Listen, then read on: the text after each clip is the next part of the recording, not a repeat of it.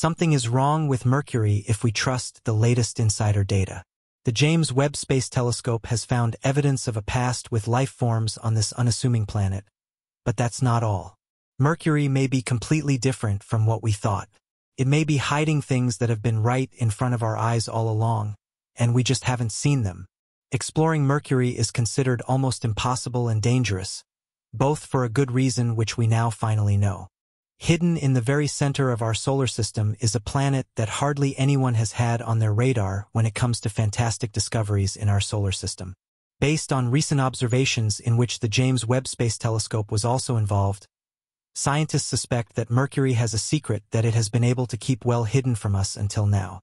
Mercury is a rocky planet, slightly larger than Pluto and significantly smaller than our Earth or Mars. This world was actually considered far too hot to harbor life or any kind of vegetation, but then researchers discovered water deposits on Mercury, and our image of this world is slowly changing dramatically. It seems as if we need to completely rethink our solar system. Mercury is not a boiling hot world. Theoretically, this mysterious world should also be a real furnace, but that's not true. Large basins, such as the Caloris Basin, which measures over 1,500 kilometers in diameter, are striking landscapes on Mercury. Scientists call these structures, which can be several hundred km long and up to 3 kilometers high, lobate scarps. Other typical Mercury landscapes are the hollows, small bright depressions that have probably formed through the sublimation of elements such as sulfur and potassium. At its poles, Mercury has craters that are permanently in shadow and thus keep it cold enough to store water ice. This discovery resembles a small miracle, as researchers long thought that Mercury was far too warm to store water there permanently. If we look at the actual temperatures on Mercury, it quickly becomes clear that we are looking into a world of extremes. Nevertheless, Mercury is by no means a boiling hot hell like Venus. Temperatures fluctuate and peak up to 427 degrees Celsius during the day but drop to around minus 173 degrees Celsius at night. Scientists attribute these extremes to the fact that the planet has almost no atmosphere to store or distribute heat. Venus, on the other hand, has one of the densest atmospheres in the solar system. A greenhouse effect is formed here within a thick shell of carbon dioxide, which heats the planet to temperatures of up to 467 degrees Celsius day and night. Mercury is quite different, and the ice shows that there may be regions on this planet that are temperate in terms of temperature. This raises the exciting question of whether it is conceivable that life could exist in such marginal zones, in shady craters, or beneath huge cliffs and rocky outcrops that offer protection. The discovery of an alien world. Who could have thought that the Greeks had already succeeded in discovering this comparatively tiny world in 265 BC? On the scale of our solar system, you have to imagine Mercury as a pin-sized dot that is actually only visible to simple telescopes when it passes in front of the Sun. It was the Greek astronomer Tis who was the first to record the planet's position in the sky. However, it was not known how Tis discovered Mercury. Over the centuries, various civilizations made observations and records of Mercury, but it was often difficult to study the planet accurately due to its proximity to the Sun. It was only with the advent of modern telescopes in the 17th century that astronomers were able to make more detailed studies and better classify Mercury for what it is the closest of the eight major planets in the system to the Sun. In 1631, the French astronomer Pierre Gassendi was the first to describe a transit of Mercury in front of the Sun, and he calculated the planet's orbit. In 1771, the German astronomer Jan Hermann Schröter studied the rotation of the planet and made a blatant mistake that led to a misconception for a long time. Schröter thought that Mercury had a bound rotation to the Sun, similar to the Moon to the Earth. Mercury rotates extremely slowly on its own axis but races quickly around the Sun, which led to the erroneous image of a bound orbit.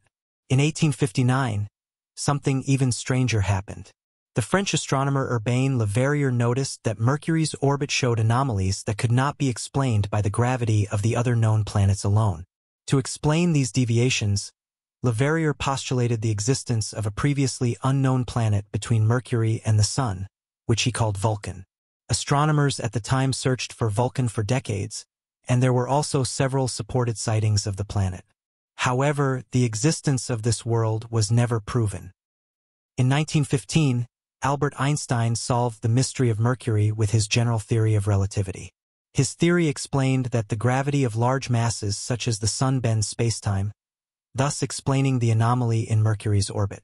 This probably put the idea of Vulcan off the table for good, although the planet continued to fascinate science fiction writers.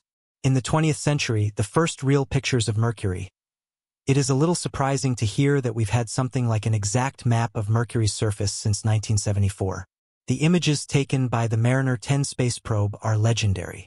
The first Mercury probe revealed the smallest details on the surface of Mercury in unusually sharp detail. NASA's probe flew very close to Mercury three times. This resulted in the first ever close-up images of Mercury, the first time humans saw craters and landscapes as well as the true colors of Mercury. Mariner 10 not only photographed Mercury in detail, but also provided us with measurement data from the planet's surroundings.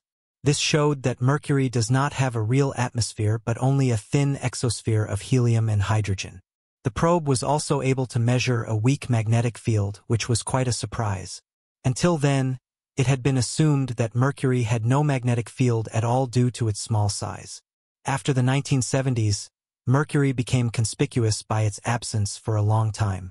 NASA refused to send any more probes to this planet, and this caused some speculation. The reasons always given by NASA were that the probes to Mercury would be extremely difficult to build and navigate due to the gravitational pull of the Sun and the extreme conditions. A Mercury probe must be sturdily built and have a powerful propulsion system to prevent a probe costing millions of dollars from being accidentally swallowed up by the Sun. It was not until 2008 that NASA embarked on the adventure once again. The Mercury Surface Space Environment Geochemistry and Ranging Mission, or MESSENGER for short, successfully opened the next chapter in the exploration of this planet. MESSENGER also put an end to rumors that NASA no longer wanted to fly to Mercury for a completely different reason. MESSENGER successfully entered Mercury's orbit in 2011, and by 2015 it had provided new insights into the planet's geological history, including exciting new evidence of volcanism, images of extensive lava plains, and evidence of water ice in the polar craters. Messenger's measurement data aroused the curiosity of scientists as the data showed there could be far more to Mercury than we previously suspected. In particular, the evidence of the planet's turbulent past shows that Mercury was and is very active geologically. This in turn may indicate that we are misjudging Mercury's past. Some scientists believe that Mercury was once in a different position in the solar system and was then pushed all the way in by Jupiter's gravity. What if Mercury, therefore, once stood in the position in the habitable zone and possibly harbored life?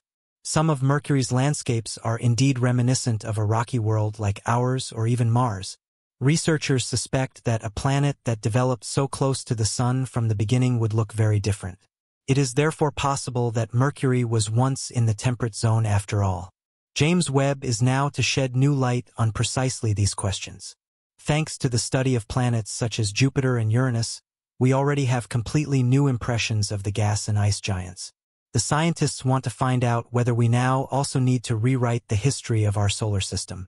When Webb sets its sights on Mercury, the new space telescope will use special filter techniques that will allow it to scan Mercury around the Sun. The telescope is virtually predestined for this task, as it was specially built to capture even tiny exoplanets passing in front of their stars.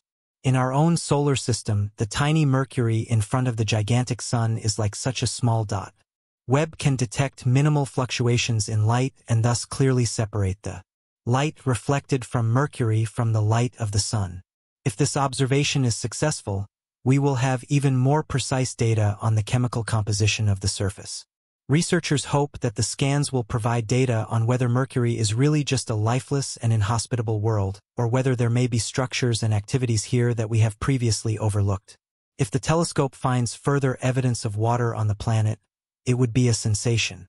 The scientific community would then have to acknowledge that Mercury is a far more complex and mysterious world than previously thought. Mercury, often overshadowed by its more prominent neighbors, has held surprises that continue to intrigue scientists. Beyond its extreme temperatures and sparse atmosphere, recent observations have unveiled complexities that challenge our understanding of this small planet. One of Mercury's enduring mysteries lies in its geological activity. Despite its small size, Mercury exhibits evidence of a turbulent past marked by volcanic activity and tectonic movements.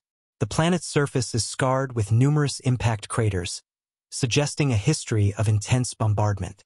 The Caloris Basin, a vast impact crater over 1,500 kilometers in diameter, stands as a testament to these ancient cataclysms. Surrounding these craters are expansive plains, possibly formed by volcanic eruptions that once reshaped Mercury's landscape. These geological features provide insights into the planet's evolution and raise questions about its internal processes. Moreover, Mercury's proximity to the Sun influences its environment in unique ways. The planet's thin exosphere consists mainly of helium, hydrogen, and trace amounts of other gases. Unlike Earth or Venus, Mercury lacks a substantial atmosphere to regulate its surface temperature. This results in extreme temperature variations. During the day, temperatures can soar to a scorching 427 degrees Celsius 800 degrees Fahrenheit, while at night they plummet to a frigid minus 173 degrees Celsius minus 280 degrees Fahrenheit. Such extreme conditions challenge the survival of any potential life forms. Yet recent discoveries of water ice in permanently shadowed craters at Mercury's poles have intrigued scientists. The presence of water ice on Mercury is particularly significant. Long thought too hot to sustain water in any form, Mercury's polar regions provide cold traps where water molecules could accumulate and persist indefinitely. This discovery not only expands our understanding of Mercury's composition, but also raises the possibility of resources that could support future exploration missions. In terms of its orbital dynamics, Mercury's proximity to the Sun results in an extraordinarily fast orbital speed. Traveling at approximately 47 kilometers per second, Mercury completes a full revolution around the Sun in just 88 Earth days. This rapid motion, coupled with its slow rotation on its axis, creates a unique pattern of day-night cycles and solar exposure.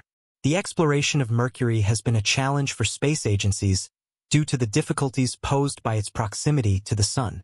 The Mariner 10 mission in the 1970s provided the first close-up images of Mercury's surface, revealing its cratered terrain and geological diversity. Subsequent missions such as MESSENGER, Mercury surface, space environment, geochemistry, and ranging further enhanced our understanding by mapping the planet's surface and studying its magnetic field and exosphere. Looking ahead, the James Webb Space Telescope, JWST, promises to revolutionize our understanding of Mercury. Equipped with advanced imaging capabilities, JWST will enable scientists to study Mercury's surface composition with unprecedented detail. By observing Mercury as it transits across the Sun, JWST will analyze the planet's atmosphere and surface features, providing new insights into its geological history and potential for harboring water or other volatiles. The discoveries made by JWST could potentially reshape our understanding of Mercury's formation and evolution. By comparing Mercury's characteristics with those of other rocky planets in our solar system and beyond, scientists hope to uncover universal principles governing planetary development and habitability. In conclusion, Mercury remains a captivating enigma in our solar system. Despite its harsh environment and diminutive size, the planet continues to surprise us with its geological diversity, orbital dynamics, and potential for harboring water ice. Future missions and advancements in space observation technology hold the promise of unraveling more of Mercury's mysteries, offering new perspectives on the evolution of terrestrial planets and the conditions necessary